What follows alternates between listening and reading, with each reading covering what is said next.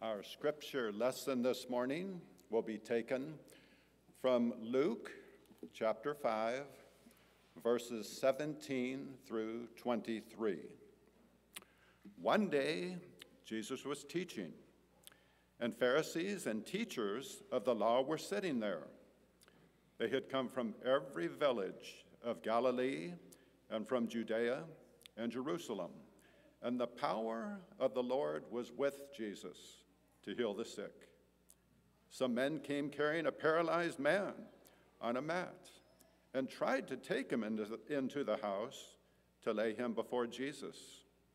When they could not find a way to do this because of the crowd, they went up on the roof and lowered him on his mat through the tiles into the middle of the crowd, right in front of Jesus. When Jesus saw their faith, he said, Friend, your sins are forgiven. The Pharisees and teachers of the law began thinking to themselves, Who is this fellow who speaks blasphemy? Who can forgive sins but God alone? Jesus knew what they were thinking and asked, Why are you thinking these things in your hearts? Which is easier, to say your sins are forgiven, or to say, Get up and walk? But I want you to know that the Son of Man has authority on earth to forgive sins. So he said to the paralyzed man, I tell you, get up, take your mat, and go home.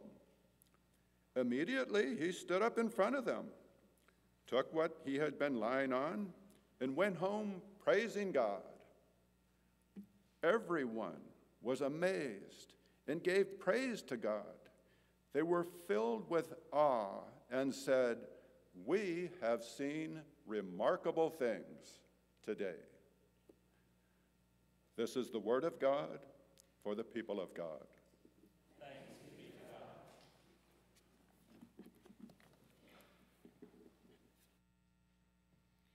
Thank you, Rick. I appreciate Rick and, and Ellen. They're new friends of ours, and we're grateful uh, to have them this season. And uh, when I heard Rick speak, when I got to know him, I thought, boy, we got to get him to read scripture someday. So thank you for that. I appreciate that. Lovely voice.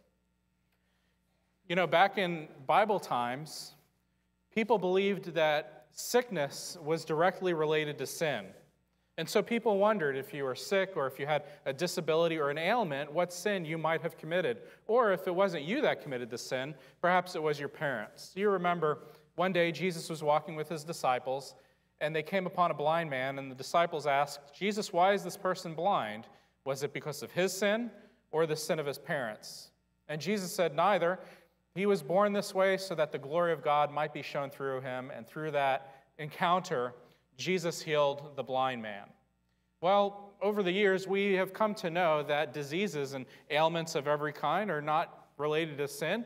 They are simply, you know, the various things that happen to us uh, a, as we live in a broken world. We no longer have doctors telling us that if it were not for our sin in our life, that we wouldn't have a certain diagnosis or a certain ailment. And yet, I've had enough experience to know that even though we know that the various things that we struggle with, various ailments or diseases or even addictions, really is not only tied to the fact that a lot of that that confronts us is not our fault, but that there are more things going on in our life. Many of you know I struggle with PTSD, and whenever I have a PTSD uh, episode, as I like to call them, which happens pretty infrequently, I have a kind of a process in place. First thing I do is, is tell Christina. She kind of warns the kids, and I try to come in, as, with, in contact with as few people as possible. You know, it's just one of those days where I just mark the day, not having a good day, and I either call into work or work from home or just try to hole up in the office until it passes through. And over the years, I know that that is a disease. But even then, I still feel in many ways so guilty that I have those feelings. And even though some of us are diagnosed with various things, it is hard for us to escape those deeper feelings in our heart. I know my PTSD is not my fault.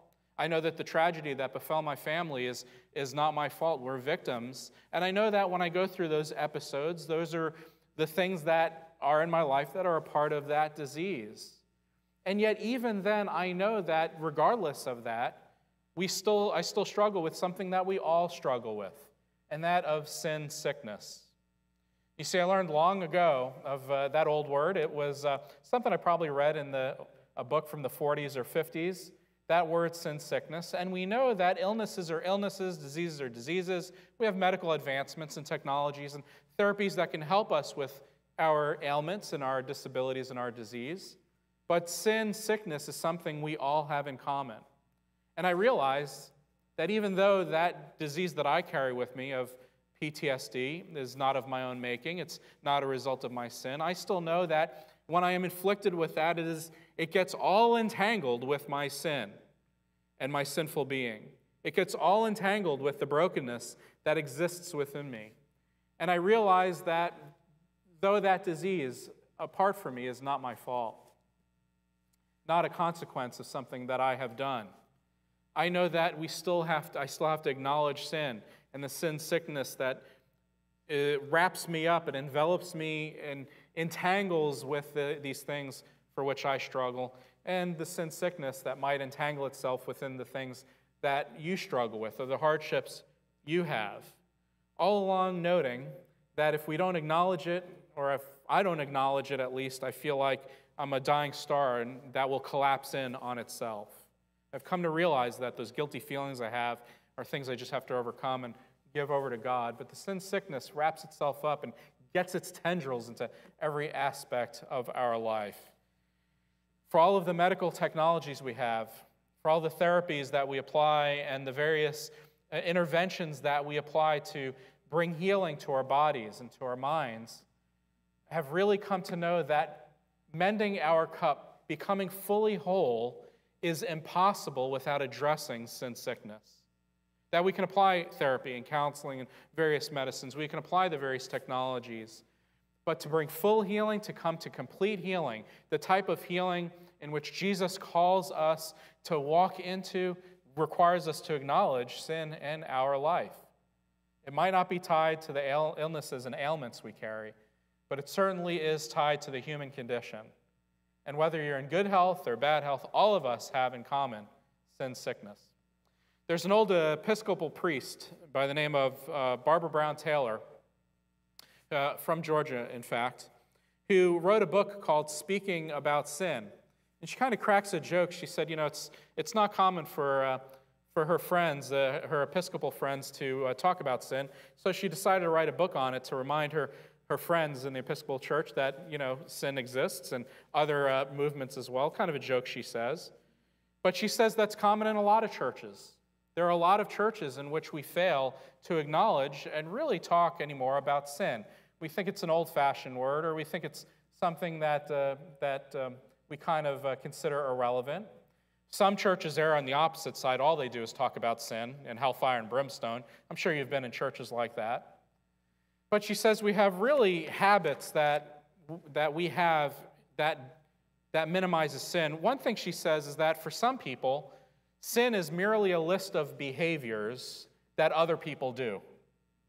See, I, I like that one, you know. You, you write down all the lists of the sins that exist, and it turns out that those sins are what other people do. Seems like those that should be on your list are, are not there. Another temptation Barbara Brown Taylor talks about is privatizing sin to the point, uh, so much in which we've privatized it, that we have forgotten what the importance and we've forgotten how to confess, and in turn, forgotten how to repent. So, this is a problem for a lot of Protestant churches. You know, um, Dr. Carter and I always talk about how during the Protestant Reformation, when, when there was such an antipathy for, for Catholic, Catholic ritual, and the Catholic Church, a lot of Protestants, including Baptists, threw the baby out with the bathwater. And one of those things uh, that have gone by the wayside is confession. In fact, if you mention confession in front of a bunch of Baptists, uh, they, they kind of uh, gristle and kind of get uncomfortable. Kind of like Baptists who get maybe a little uncomfortable about Lent, noting that without Lent, when would we fast? When would we take the time to go to the cross? It's one of those things we're not used to. And so we have privatized sin. We have forgotten how to confess. And because of that, we have forgotten really how to repent. It's the Bible, not any particular Christian movement, that said in the book of James Is any among you sick? Let them call the elders of the church to pray over them and anoint them with oil in the name of the Lord. And the prayer offered in faith will make the sick person well. The Lord will raise them up. If they have sinned, they will be forgiven. Therefore, confess your sins to each other and pray for each other so that you may be healed. The prayer of the righteous is powerful and effective. Barbara Brown Taylor notes that really, without that, without recognizing the, the and acknowledge sin sickness, and while we forget how to confess and therefore how to repent, there is always a part of us that has yet to be mended and healed, and we will always fall short of the healing that Jesus has for us. And she says, yet a third temptation is that we simply ignore or deny sin. We just don't talk about it. We really don't think about it. We don't want to appear too judgmental. We certainly don't want to appear hypocritical, so we just leave it uh, by the wayside. Barbara Brown Taylor says abandoning the language of sin will not make sin go away. Human beings will continue to experience alienation and death no matter what we call them. And abandoning, abandoning the language will simply leave us speechless before sin and increase our denial of its presence in our lives. And she says, Yet you have to be assured, she writes, and we think it's safe to say that Christians should never have to worry about the commercialization of Ash Wednesday. Hallmark will not invest in cards for Lent and for repentance and for sin. It's not on their drawing board.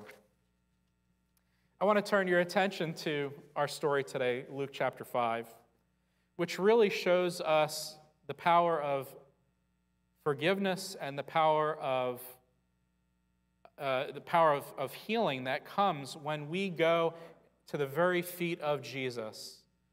And we learn here, again, the setting uh, that, uh, that Patty described is one in which Jesus is surrounded by what Scripture tells us are religious leaders, the, the Pharisees and the scribes and the, the, the, uh, the clerics of the law, it says that they have come to hear Jesus teach, and they came from all of the surrounding towns. So this is really kind of a, uh, a religious gathering.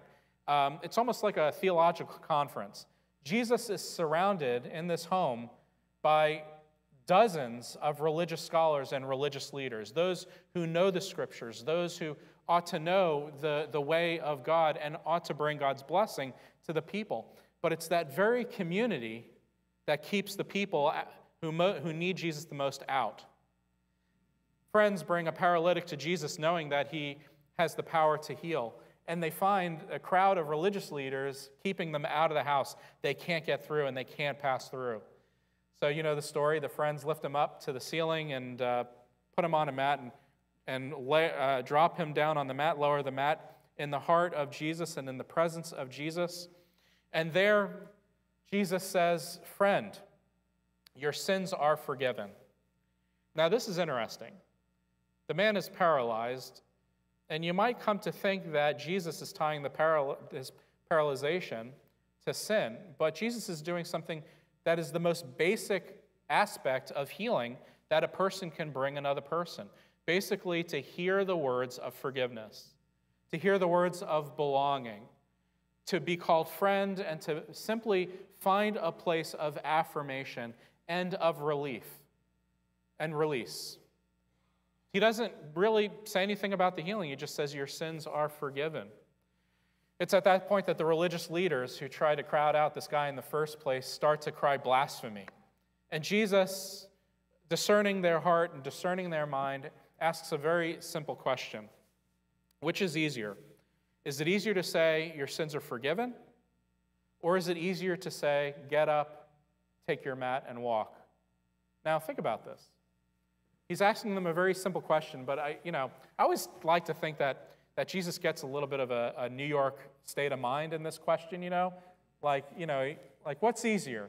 To say you're forgiven or to, to say get up and walk to be healed? Well, obviously the answer is, well, it's really easy to say your sins are forgiven. I mean, that's much easier than, than bring to bear healing to make a paralytic who's guy who's been paralyzed his whole life to walk. But I think what Jesus is doing is something deeper. I think he's confronting the religious leaders with their failure to do the most basic thing that any person of faith can do. And that is to bring release and a sense of belonging to a person by helping them understand that a place of faith is a place of forgiveness. That when you're in the midst of these religious leaders who know that God is merciful, they know their scriptures, that God forgives from one generation to the next, they know that God is slow to anger and God is a God of healing, that their most basic task as religious people of faith is to simply help people find release and find forgiveness.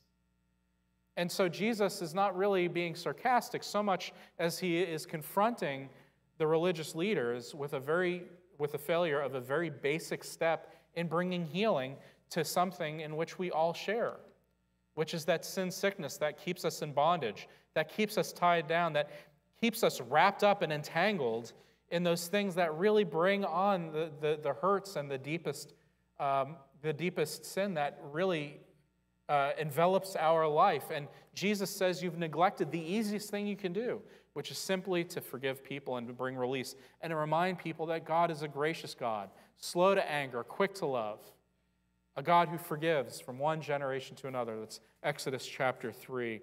And then, of course, what Jesus does is he doesn't give them time to answer. You know, he asks the question, but he doesn't really uh, get into a debate. Jesus has no time for debates. He never debates, by the way. He always hits the heart of the matter. And then he turns to the fellow and he says, Take up your mat, stand up, take your mat, and go home. This is really amazing because what this does is when Jesus brings healing to the paralytic, the man who's paralyzed, he knows that the paralysis is where this man needs the healing the most.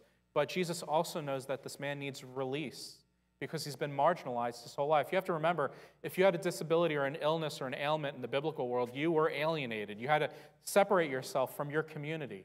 You couldn't go home to see your loved ones. You had to stand separate from them. If you had leprosy, you had a community that quarantined you, and you were always in quarantine. You were always isolated. You can never be restored to your family unless you are made well. And so, what Jesus does, the first and foremost thing, is show us that when he's mending this man's cup, it's not just about his physical ailment, where he, uh, uh, which is the point that needs healing. He also needs release and belonging. As his friends place him in the middle of a crowd, which is courageous, by the way, they could be uh, tried for it because they're breaking the law. Jesus does the one basic thing that really allows this man to find holistic healing, and that's release and forgiveness and then it's at that point that Jesus doesn't help him up or help him with his stuff. Jesus challenges the man to participate in his own healing. He tells him, stand up. He empowers him to stand up. He has permission to find healing. He stands up. And then Jesus says, Take your mat. I love this when Jesus says this. This reminds us of uh, what we talked about last week how we come as wounded healers of how our, the, the areas in our life in which we're broken, we bring it to bear to allow Jesus' light to shine through the cracks in our life. And here, when we're talking about the mended cup, we have to note that Jesus not only empowers the man to participate in his own healing, but he also asks him to carry his mat, mat a reminder of where he was, a reminder of the miraculous work that God did in his life. This man now carries his mat carries his wounds and his scars and that reminder that healing is possible through Jesus and that the good news of Jesus is not only this release, but also this empowerment to participate in the lives of the healing of others, just like his friends did for him. And Jesus doesn't say, Follow me. I find this interesting. Jesus could have said, Follow me. He says, Go home, because Jesus knows that being reunited with family, the reconciliation and restoration that happens as a part of that journey of healing is more important at this moment than him to follow Jesus in his journey to Jerusalem. And that healing is not complete until reconciliation and restoration takes place. You see, forgiveness is the first step in becoming whole. It's finding that release. It's simply finding the emotional permission to move on from ourselves. And it's at that point that Jesus asks us and empowers us to be a part of that healing presence of Jesus Christ, to carry our wounds and our scars into community, to go back to community, and to share the love and the grace of Jesus Christ. It is so very important. I have come to learn over the years that we can, that our advancements as a, a society, our technological therapies, our various interventions can only bring us so far. They can make us whole, they can do miraculous works, and we say that all the time that, that doctors and nurses in our midst and professionals, caregivers, therapists, counselors, first responders, those who really intervene in our life, are the real heroes in our midst who bring about, whether they know it or not, God's miraculous works. But to be made whole, to really go to the finish line, we have to acknowledge that we need to be a people who bring release and forgiveness, that we need to hear those words, I forgive you, that we need to acknowledge that sin sickness.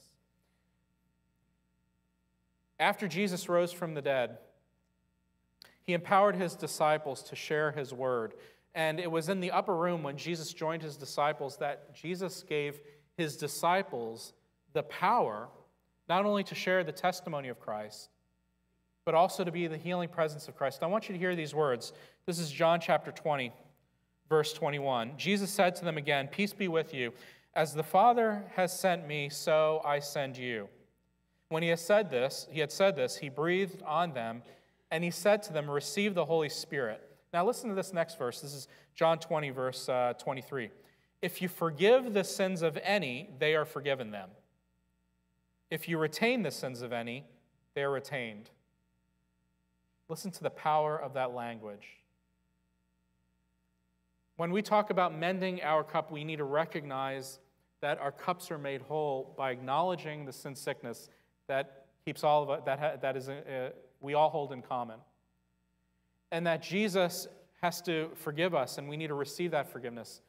But you also have to recognize the power of what it means to forgive and to be an ambassador of reconciliation that reminds people that God's forgiveness is available to us. You, you may need to find a, fr- a friend or two in which you have the emotional permission to confess some of those things that keep you in bondage. And, brother and sister in Christ, you have the power to help people receive God's forgiveness by reminding them that they are forgiven. But just as much as you have the power to help people find release and belonging and to participate in God's healing presence, so too do you have the power to bind people up and to hinder people from receiving forgiveness by holding on to old resentments by failing to acknowledge that sin sickness is something we all hold in common. And by remembering that God calls us to reconciliation and restoration, that if we retain the sins of many, or retain the, the, yeah, the sins of many, we fail to give forgiveness or to offer forgiveness or just to give people the emotional permission to express their deepest hurts, that we might be part of that resistance that people are finding to bring healing to their life and to make their lives whole and to mend their cup. We have so much power as brothers and Christians in Christ, empowered by the Holy Spirit to bring freedom and restoration and to help people find release while people are walking through their various hurts and various journeys of life. We bring our wounds and our hurts with us. They are not to be left behind to show how God's miraculous healing presence continually works in our life. May we be people who knows what it's like to receive forgiveness and who can give the gift of forgiveness simply by sharing the love of Christ with others. Amen. Let us pray.